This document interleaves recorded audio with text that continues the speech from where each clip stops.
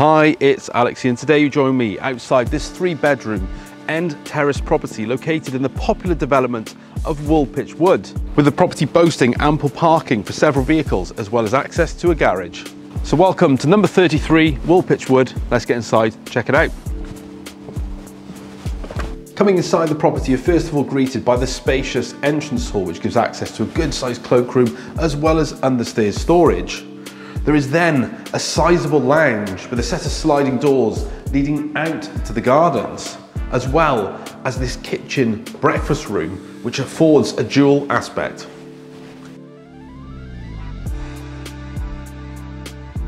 To the first floor, you have three good sized bedrooms, as well as a family bathroom with a primary suite also benefiting from its own ensuite shower room.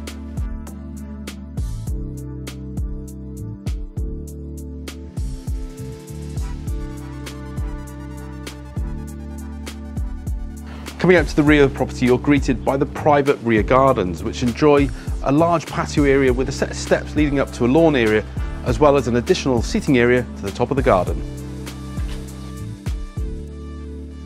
What I love most about this property is that it could be ideal for a first time buyer, or possibly for someone looking to downsize.